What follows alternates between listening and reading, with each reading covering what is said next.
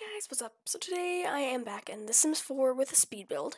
Now today I'm going to be building a kind of basic starter home with a, a multi-purpose room. Now later in the video you're going to see me just put a desk and a chair and a logic table in there. Um, but this that room can be used for multiple purposes. It could be an extra bedroom, it could be a gardening room, it could be a office like I made it. Um, it really depends on who places it down and what they want to do with it. Um, so yeah, other than that, this is a pretty basic home.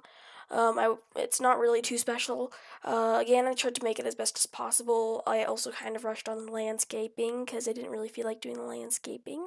Um, but uh, other than that, I'm actually pretty proud of this house. Um, I usually forget to do like all the wall hangings, but I actually did it did the wall hangings pretty thoroughly um, this time, which I'm pretty proud of.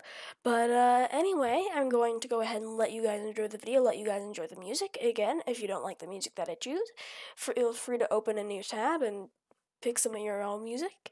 And um, yeah, at the end of the video, I'll show you uh, the hashtags and the title of the thing so you can download this into the gallery. Again, I used some custom content, um, but the Sims will just automatically remove that and you guys can replace it with with whatever you guys have. So, um yeah, let's go and get into the speed build.